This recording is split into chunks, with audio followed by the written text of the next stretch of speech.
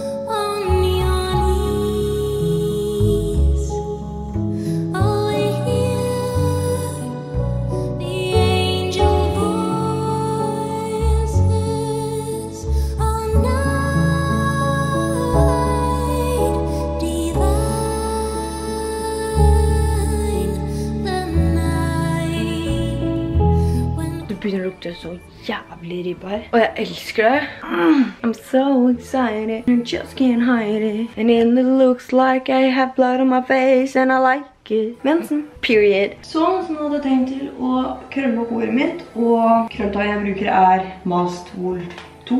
Jeg er egentlig ikke så glad i å krølle håret som jeg liker best å gjøre det med rettetang, for da blir det ikke så mye krøll.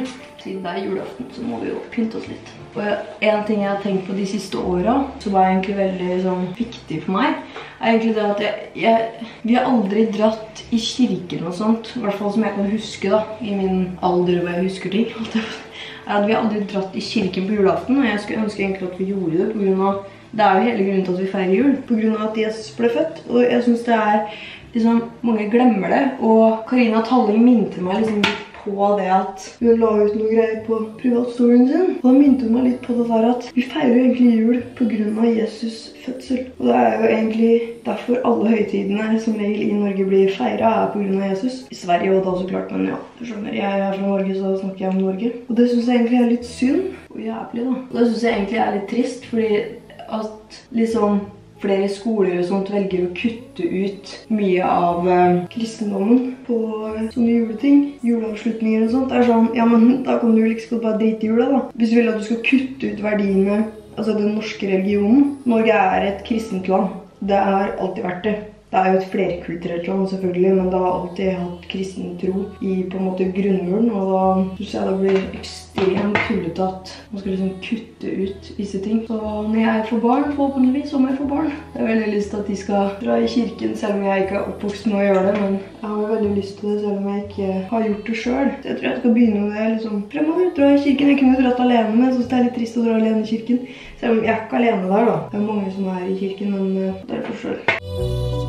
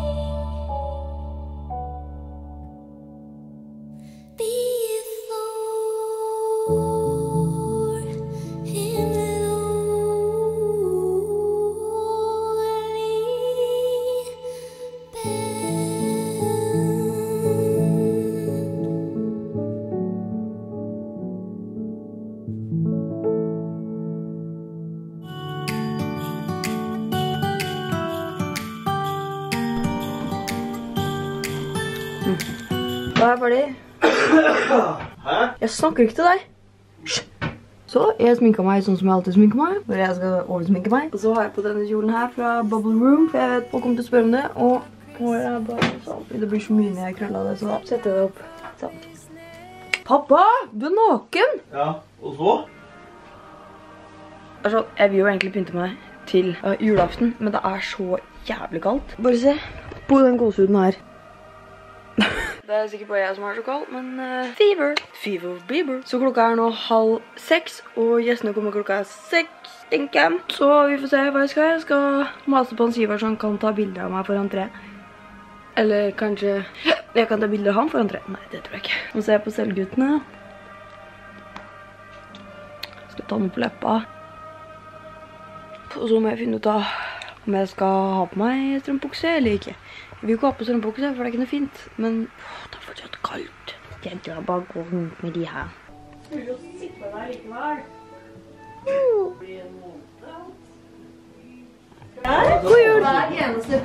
Nå kan jeg ta bilde av deg. Nå er du jo vakker.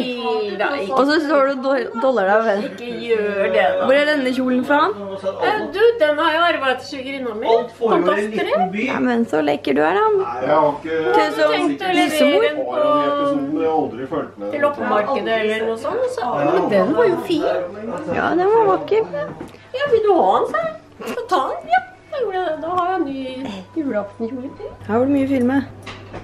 Nå skal jeg vise delen av huset dere aldri ser her hjemme. Så her er bestestua, a.k.a. Disse rommene bruker vi bare når det er penselskap og sånt, ikke sant? Når vi har penselskap. Ja, det... Så her har vi dekt på da til julaften. Her pleier vi å sitte. Veldig gammelt, men det er jo koselig når jeg har blitt eldre og jeg har forstått det. Her, altså, biblioteket til mamma. Vi bruker bare disse rommene til pent. Åh, nå kommer gåsehuden igjen. Så her pleier vi å sitte og spise. Er juletreet inn her med pakken og sånt? Altså, det er jo litt hyggelig da. Det ser jo ut som en hytte eller et eller annet. Sånn gammeldags. Hei! Hei du! Skulle du være med? Og her er bestestua. Altså, om ikke dette Ja, hei. Her er her vi sitter etter vi har spist. Åpner gaver, spiser marsipan og hutti hei. Og du, da? Skal du legge deg? Ikke tiss. Gjorde du det?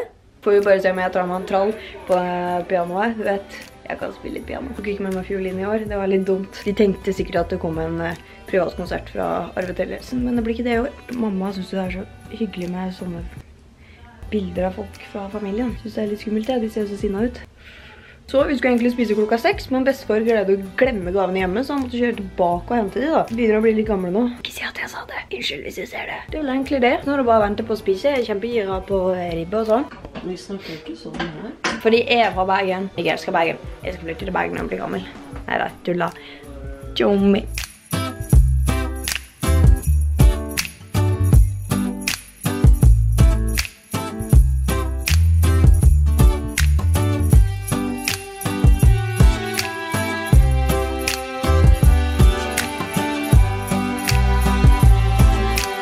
Nå har vi nettopp spist.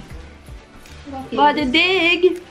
Ja. Ja. Er du mett i magen? Ja. Du er i hvert fall mett i magen. ja. Trekk i nå. Å, fy faen. Nå er det snart eh, pakkeåpning, da. Oi, dere blir jo filmer da? Ja, jeg gjør det, da. Måneskinn siden. Har du sett den? Jeg ser på nå.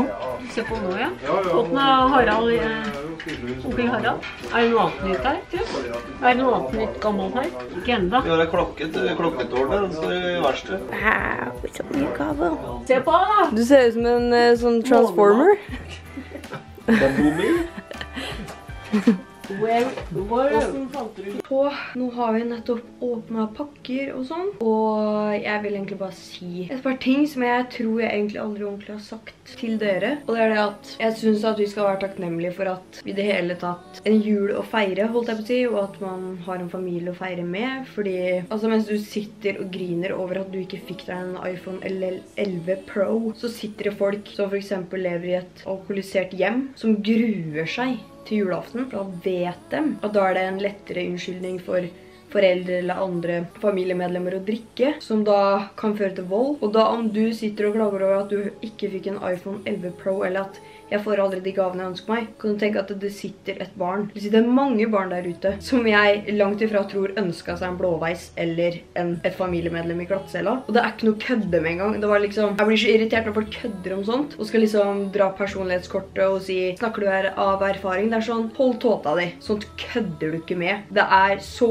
mange barn og voksne og generelt mennesker som har det vanskelig i jula. Og dere må vite at jeg tenker på dere. Om dere ser på det her, hvor enn du er i verden og syns jula er vanskelig, så tenker jeg på deg. Og jeg er i hvert fall veldig glad og takknemlig for at jeg har en familie jeg kan feire med, at jeg har familie med jobb, økonomi. Sånn som i fjor, i år så hadde jeg ikke mulighet, for jeg fant ikke noen familier som uh, i nærområdet. Jeg vet at jeg kunne sendt rundt og sånt, men uh, for å være helt ærlig så, så var jeg litt for lat og stressa til det i år. Men i fjor i hvert fall så ga jeg en stor søppelsekk med klær til en familie som ikke hadde råd til klær til barna sine. Poenget er at jeg har veldig mye ting. Veldig mye for mye ting, egentlig. Man trenger jo ikke så mye ting som jeg har. Og når jeg da går gjennom klærne mine for eksempel, og velger ut ting da, som jeg ikke trenger, så tenker jeg alltid på Jeg gir jo alltid til Kirkens Bymisjon og sånne donasjoner, eller organisasjoner, men i juletider så er det jo også lurt å tenke på at det er ikke alle familier som har penger til det. Fordi det har blitt et slags, hva skal jeg si, et press òg. Jeg husker når jeg var ung. og eh, Folk på skolen min eller klassen min fikk iPhone til jul. Jeg ble helt sånn, hæ? Jeg har alltid hatt det der synet på at det er teit, fordi det er dyrt. Og... Men samtidig så er det sånn, ja, foreldre tjener forskjellig om de har råd til det, så vær så god. Men for meg så blir det helt uakseptabelt, for jeg vil ikke at det skal handle så mye om det beste og det dyreste i jula. Det jeg bryr meg mest om, altså det jeg gleder meg mest til i år, var å gi bort de gavene jeg hadde kjøpt til min familie. Og jeg synes det er veldig viktig at dere tenker på det, at selv om jeg da viser at det ligger pakker under trærne, eller viser at vi åpner pakker, så er ikke det for å skryte av at yes, vi har jobb og vi har penger. Det er, hva skal jeg si, det er fordi jeg er takknemlig. Og jeg vet veldig mange lurer på hva man får til jul og sånt. Jeg synes jula kan være todelt, fordi det er flott for min del. Det eneste jeg, altså jeg har ikke noe å klage over engang. Ikke litt engang. Når man skal drive klage over juleshopping og ditten og datten er så Nei, fordi det finnes familier der ute som, eller mennesker der ute som ikke har det bra i det hele tatt. Kanskje folk sitter alene på julaften, har ingen familie å feire med. Og det igjen, hvis du har en nabo som bor alene, som ikke har noen å feire med, bare spør om de vil være med og feire. En du kjenner, som ikke har et sted å være, som ikke har familie. Det gjør meg oppriktig, oppriktig forbanna av å vite at det for eksempel finnes foreldre der ute som drikker seg så sørpetritings på julaften og slår barna sine, og oppfører seg som at de aldri skulle fått barn i det hele tatt. Og det gjelder egentlig generelt, det er ikke bare jula, det er generelt. Så jeg vil egentlig bare si at jeg tenker på dere, og tenker på det, og jul er egentlig sykt rart at man gir hverandre gaver og sånt, selv om på en måte det er jo en fin ting. Det trenger ikke være noe dyrt, det kan jo være noe du har lagd, eller noe du ikke trenger lenger, noe brukt. Jeg synes i hvert fall det er utrolig trist at folk ikke får feira det på den måten som jeg gjør, for eksempel. Meg og Pus får jo feira verdens beste jul, vi. Så vi tenker på dem, ikke sant? Vi tenker på alle de der ute som har det vondt. Fordi det blir veldig overfladisk som regel på sånne juleting som det her. Juleting, selskaper og høytider og sånn. Jeg ville bare at dere skulle vite hva mitt syn er på det, og at, jeg synes, jeg synes det er helt jævlig. Hvordan folk ikke har det som meg, for eksempel. Og det kan man fort glemme. At man er så heldig at man klager over ting som ikke er noe å klage over, eller at man liksom sitter og griner og at man ikke fikk seg en Xbox-hjul, liksom skjerpings. Så tenk litt på det før man begynner å klage over ting man ikke har fått, og heller sette pris på det man har fått og det man har. Bare ha det litt i bakhuet at, hva da? Hva er det jeg klager for nå? Tenk heller at, shit, jeg er heldig. Så jeg ville bare få frem det. Kanskje tenke litt mer på det, fordi det er, som sagt, det er vanskelig høytid for mange. Så skal vi egentlig bare fortsette å drikke kaffe og kaker, og jeg vet ikke hva. Og så etter hvert så skal jeg legge meg og redigere på denne vloggmussen. Her er den siste vloggmussen i år, det er sykt trist, men sykt deilig egentlig, for nå kan jeg ta litt ordentlig juleferie uten å tenke på at jeg må redigere og sånt. I'm gonna have a great time.